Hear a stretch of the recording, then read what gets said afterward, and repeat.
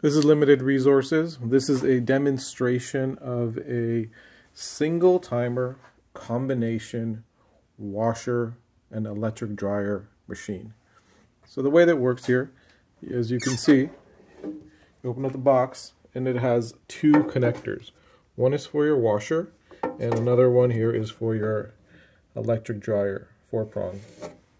But it has only one timer, meaning that if you put in a coin in here and you get, let's say, 60 minutes of time, both the washer and the dryer will run at the same time with the same amount of time you specify. So if you put in 60 minutes, both the washer and the dryer will run 60 minutes under the same amount of currency that you put in, the amount that you purchased.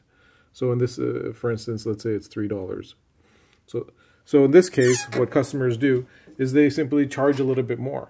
Uh, instead of charging $2 for an hour, and uh, they charge uh, $3 an hour, and so it includes the cost of both machines.